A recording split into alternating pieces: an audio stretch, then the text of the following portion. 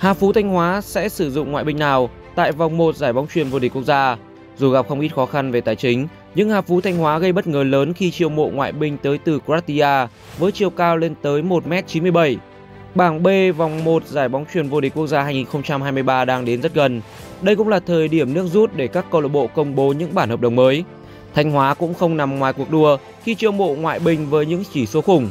Cái tên đó chính là Lara Vukasovic. Lara Vukasovic là ngoại binh của đội bóng xứ Thanh. Đối truyền này sinh năm 1994, sở hữu chiều cao lên đến 1m97.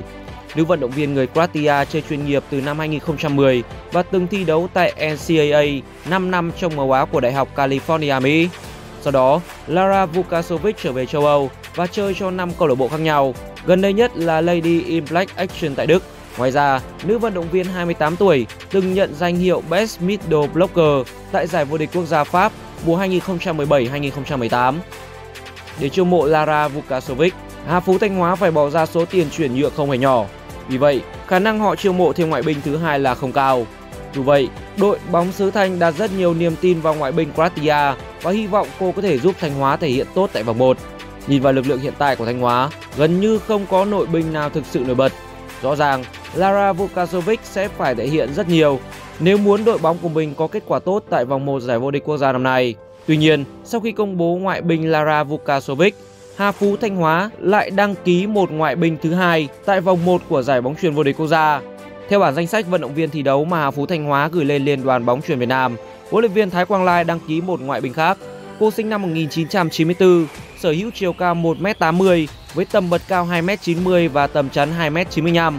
Chưa rõ vị trí và tên của ngoại binh này, nhưng câu hỏi được đặt ra là Hà Phú Thanh Hóa có sử dụng hai ngoại binh ở vòng 1 giải vô địch quốc gia năm nay hay không. Được biết, khi đàm phán với Lara Vukasovic, đôi bên chưa đi đến thống nhất về chi phí tiền lương và lót tay. Vì vậy, đội bóng xứ Thanh đã liên hệ với ngoại binh ẩn số và đưa vào danh sách đội hình gửi lên ban tổ chức. Tuy nhiên, cho tới thời điểm giữa tháng 2, Thanh Hóa và Lara Vukasovic đã đi đến thỏa thuận hợp tác cùng nhau. Vì vậy, cô sẽ trở thành ngoại binh duy nhất của huấn luyện viên Thái Quang Lai tính đến thời điểm hiện tại. Bảng B giải vô địch quốc gia sẽ thi đấu từ ngày 10 đến ngày 19 tháng 3 tại Gia Lâm, Hà Nội. Hà Phú Thanh Hóa sẽ đối đầu với ba ứng cử viên vô địch là Bộ Tư lệnh Thông tin, Hóa chất Đức Giang Tia Sáng và VTV Bình Điền Long An cùng với đội bóng mới lên hạng là Thành phố Hồ Chí Minh. Đây chắc chắn sẽ là bảng đấu không hề dễ thở với bất cứ đội bóng nào. Do vậy, việc sở hữu ngoại binh cao nhất tại giải đấu là Lara Vukasovic với kinh nghiệm thi đấu từ Mỹ tới châu Âu, hứa hẹn giúp đội bóng xứ Thanh làm nên chuyện ở ngay vòng 1.